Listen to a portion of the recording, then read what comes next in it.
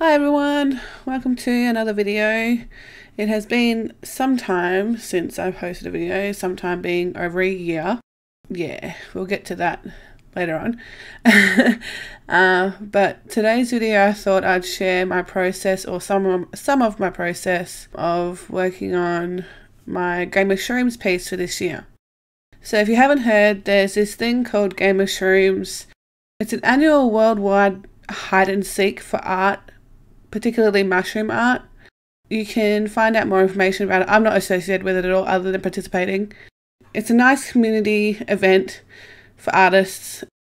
I participated last year actually, and it was really fun. I did a painting, I'll post some pictures. I hid it in a park area, and my partner came with me. He helped me get the sticks to hold it up because I didn't have anything to hold my artwork up. It was a um a canvas board that I had painted a mushroom on and I didn't think of how I was actually going to hold the piece up so people could see it. So luckily I had him with me and he gathered some sticks and stuck it in the ground for me, which was really nice. And yeah, so Game of Shrooms is a event, like I said, where you do mushroom hide it. And yeah, they have a website, which I'll link in the description, where they have a map. If you participate as an artist, you can drop a pin on that map, which is a little mushroom, of where you'll be hiding the art so people can find it or have an idea of where to find it. You're meant to post on your social media saying, you know, amping people up and giving them hints as to where they can find it in your area. So I think it's a really cool event and I am really looking forward to participating in it this year. Now, I will say one thing before getting right into this video.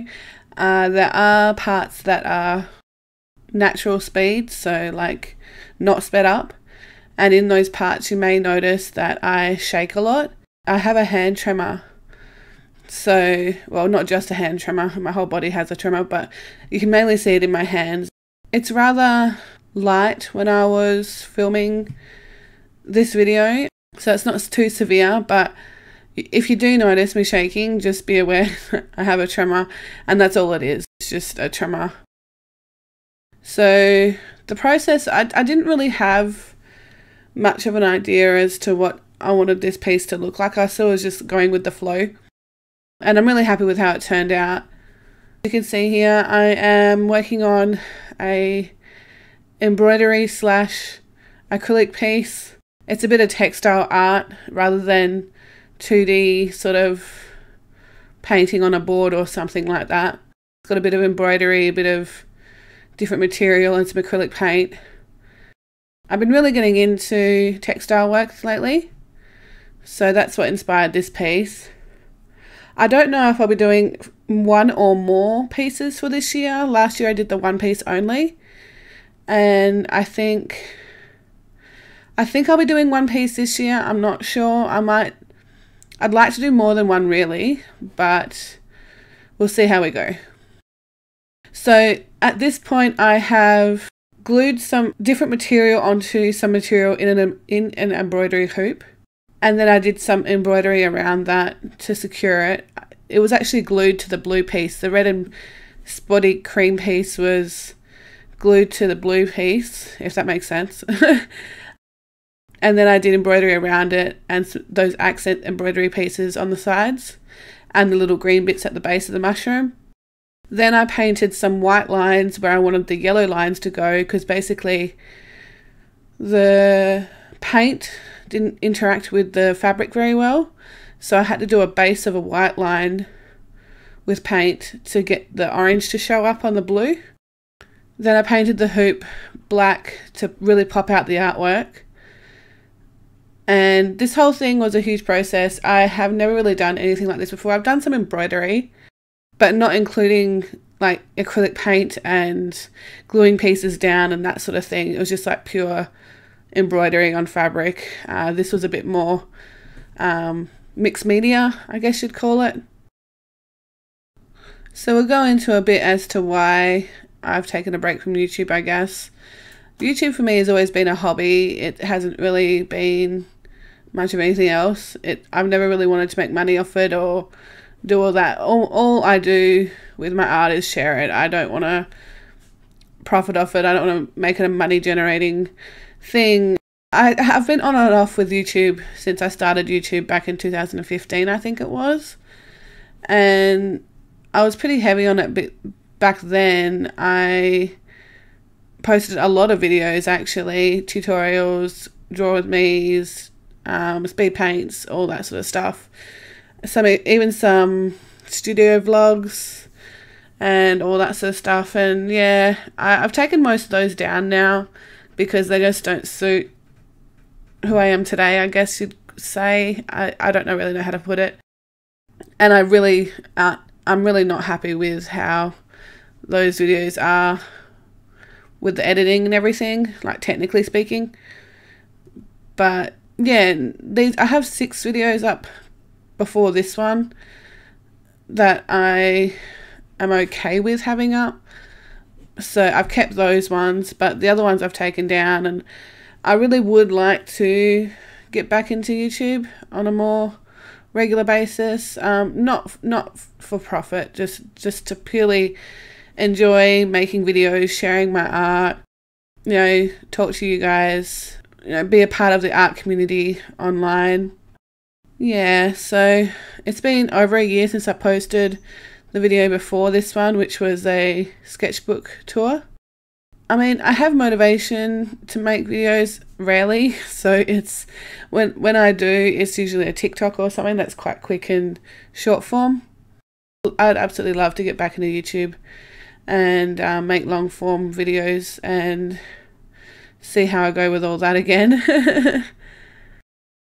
Let me know what you guys think of this video if you think and I know the setup isn't great. It the lighting was a bit off. Had to do a bit of editing with that. I need my skills up again, really, because it's been a very long time since I did a proper video. I'm looking at getting some better desk lighting. I don't know what I'm going to get yet, but I've got little stands that I can use for lighting. At the moment, I'm currently using those flip out auto lights, daylight bulb things, but they're not great. I mean, they are good lights, but they're not like proper filming lights or anything. But yeah, back to the piece.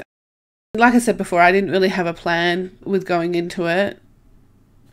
But I knew I wanted to do a mushroom, which obviously is what I did.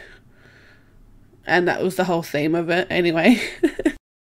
but yeah, the rest, the elements in the piece, I sort of just let come as they came, I guess. I got stuck at one point, like before I did the acrylic and the black embroidery.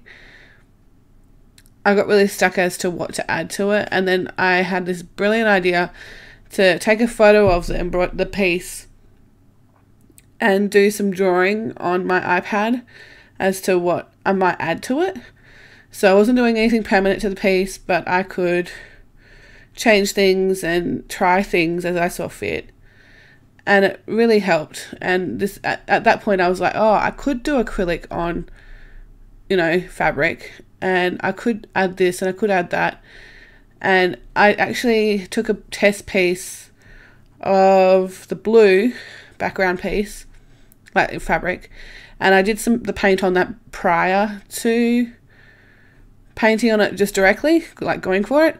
So that um that helped a lot. That actually made me realize I needed to do the white under the orange before just going for the orange because the orange just would have gone on the blue and it would have made like a it, it made like a dark reddy bluey like greeny color and then finishing the piece i was like okay so embroidery they usually do that background thing um, where they glue down because I, I don't do a huge amount of embroidery but um, they glue down the excess fabric and I didn't know how to do the back.